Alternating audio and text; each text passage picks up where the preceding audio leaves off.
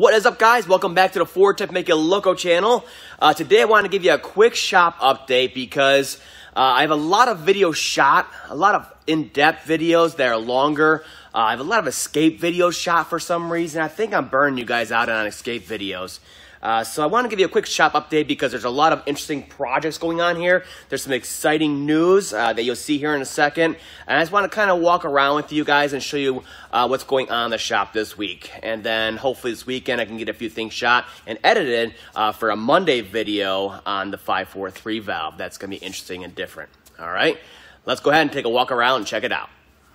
All right, let's start off in this corner right here. So if you guys don't know it already from social media, yes, this week I'm replacing two engines at the same time. So they're both 543 valves, of course. This is an 07 Expedition, and that one over there is a 2012 Navigator. And I really feel I lucked out with these two vehicles coming in at the same time like this. Now this one, like I said, is an 07. It's a little bit older, but guess what? It's from down south, Mississippi. So look at these frame rails. I mean, things like rust-free. So as you can imagine, it came out nice and easy. And then that one over there, yes, it's from Chicagoland, uh, but it's a 2012, so much less time on the road to get rusted up. So all the fasteners and everything are coming out on that one, nice and easy also. And the other good thing is I'm doing them back to back, okay? So all the same shop equipment's out, same tools in the cart and all that stuff. So it makes it a lot easier, much faster for me and the customer in the end. Real quick, I want to go over a couple different things now that these engines are all torn out of here, and it's very easy to illustrate a couple quick points on here. So Ford on, on the newer vehicles, or on just about everything, they're using these quick to connect coolant hoses, okay? So for years, Ford used them for the heater hoses only, and there was never a problem. For years, probably 20, 30 years now, never a problem. But now they're using them for everything, and you guys with the 5.0s know uh, that, you know, the coolant crossover right here, the Y pipe and all that, they like to leak all the time. They're quick to connects like this, okay? And the degas bottle hoses and all that stuff, they all like to leak. Well, now they're using for upper and lower radiator hoses. And whenever you touch one of these, this is a really good point, a little tip for you guys. Whenever you touch one of these hoses and disconnect it, like this one goes to the radiator, let's say you're servicing something and you disconnect it, at that point, you need to replace that hose, or on some models, you can actually get the replacement O-ring from inside there. The reason being is this hose has been connected to that component for 80, 100,000 miles. You go to disconnect it off of there, you disturb that O-ring in there, and then you try to reconnect it, guess what? It's going to start leaking on you. So whenever you pull one of these off, replace it or replace the O-ring if possible, all right? So you avoid a problem afterwards. So these ones, they use a single O-ring on the inside there. I do not understand why. Because the heater hoses, we've never had coolant leak issues. You can pull them off, put them back on, all you want. But guess what? They have double O-rings inside of there. And there's never an issue with these heater hoses for 20, 30, 40 years now. So they get these big hoses and they use a single O-ring on there. It must be something to do with cost because I think it was a 6.4 diesel engines, the Power Strokes um, they had these upper hoses right in this area right here, and they used to leak all the time just on their own. Quick to connects like that. And guess what? The service replacement hoses, the upgraded, re-engineered parts, guess what? They had double O-rings in there to fix the issue.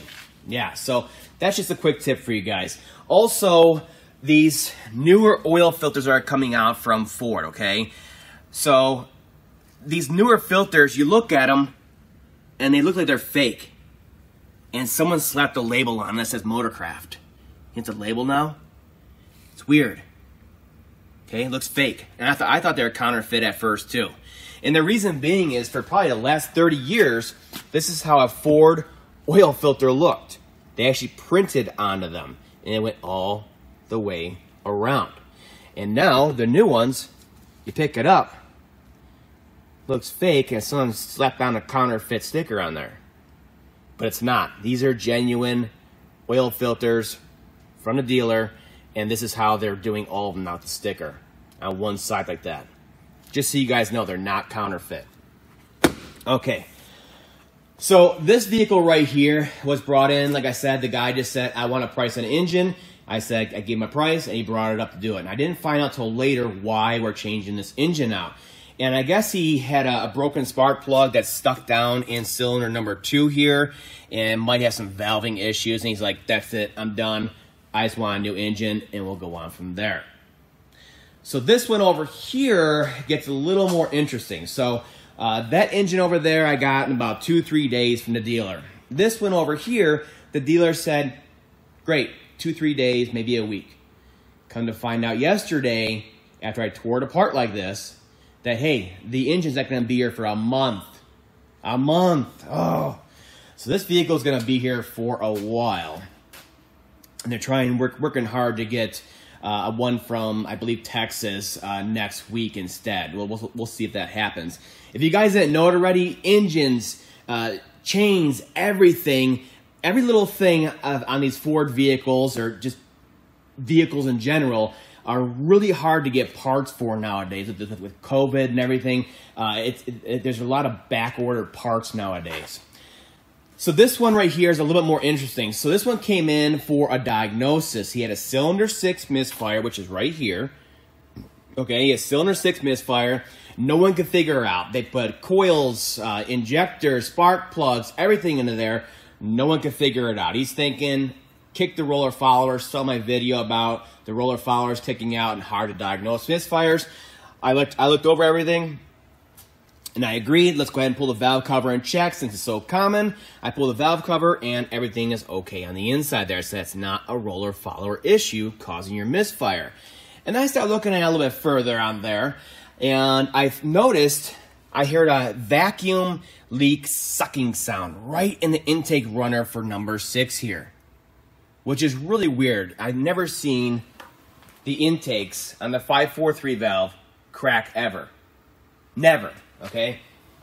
So, that's kind of weird. Could it be from the brake booster hose back here? It likes to come off. Nope. It was definitely right here at number six.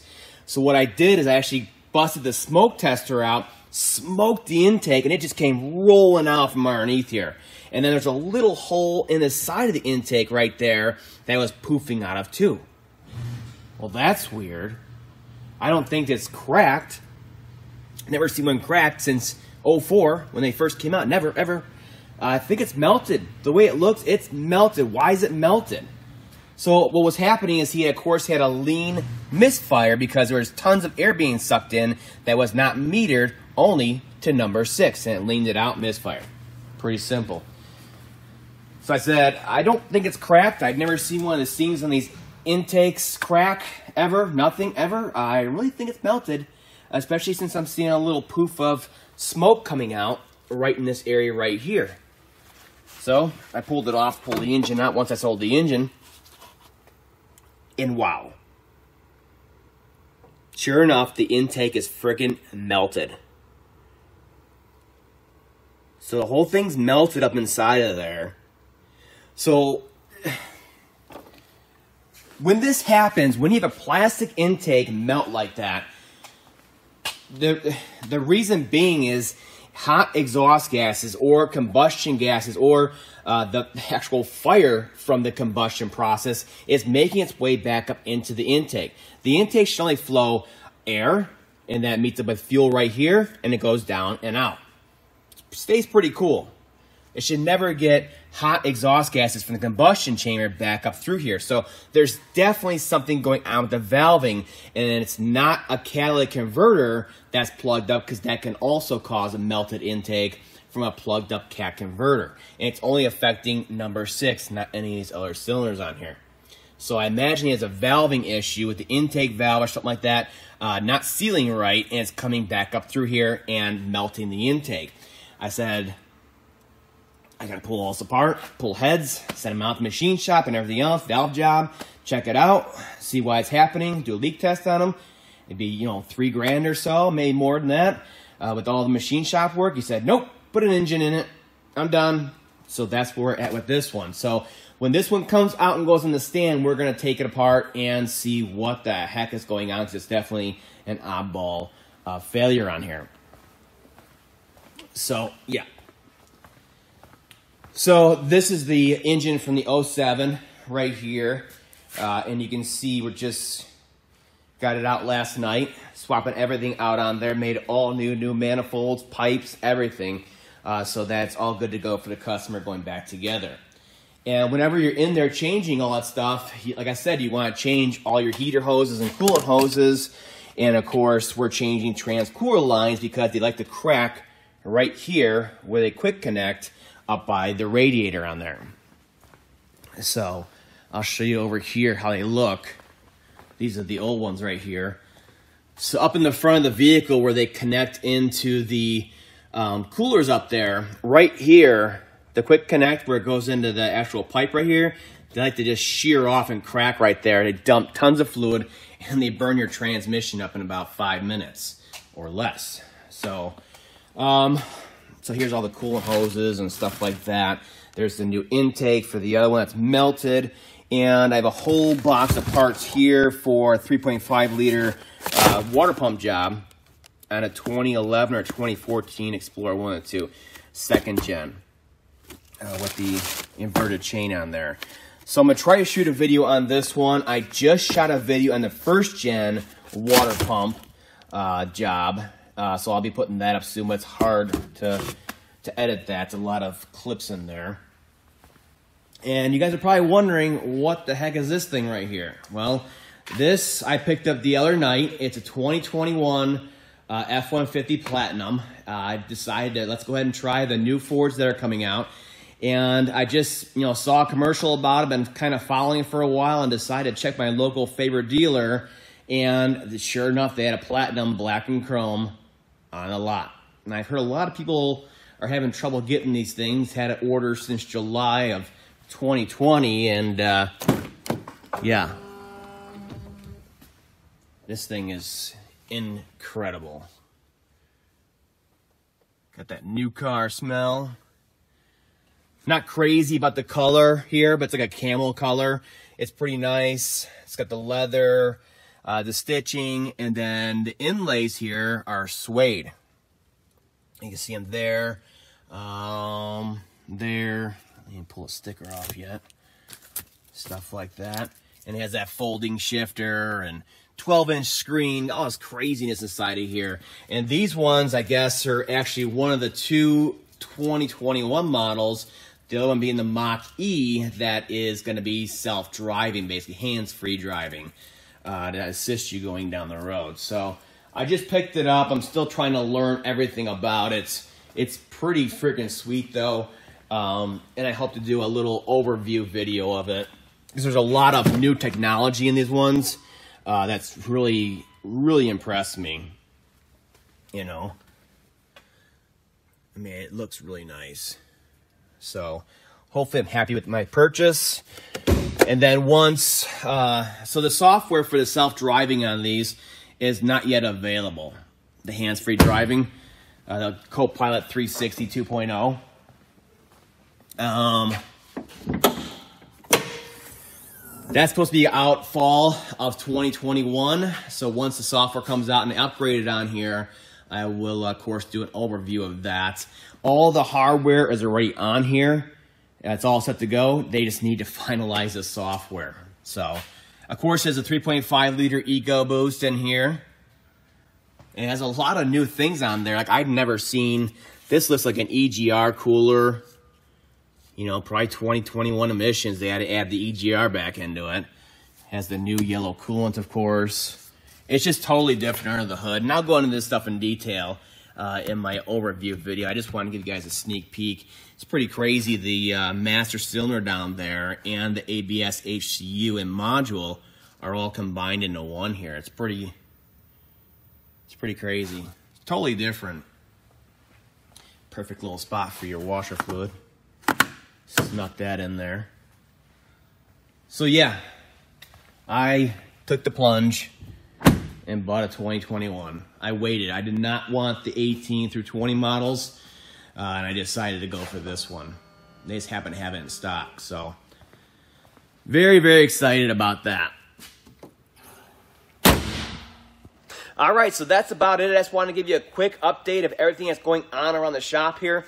There's some interesting projects. There's interesting problems like the melted intake on that one that I'm going to do a follow-up video. We're going to tear it apart on the stand there and see what the heck happened. Why is it melting like that? I've never seen that on a 543 valve. I've seen it on the 3.0s and the early 4.0s with the, the EGR pipe coming into the intake. It'll melt it from plug cats, okay? Uh, but I've never seen it in a 543 valve uh, to melt the intake like that. But it's definitely a valving issue going on. And then, like I said, on the 2021 I just picked up, I'll do an initial impressions video, hopefully a review video, you know, maybe a year or two from now once I have some time with it.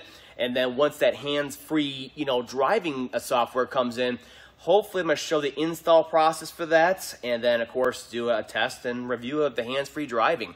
Uh, like I said, that's, that, that's uh, uh, one of two vehicles as of right now uh, that, that that feature is available on.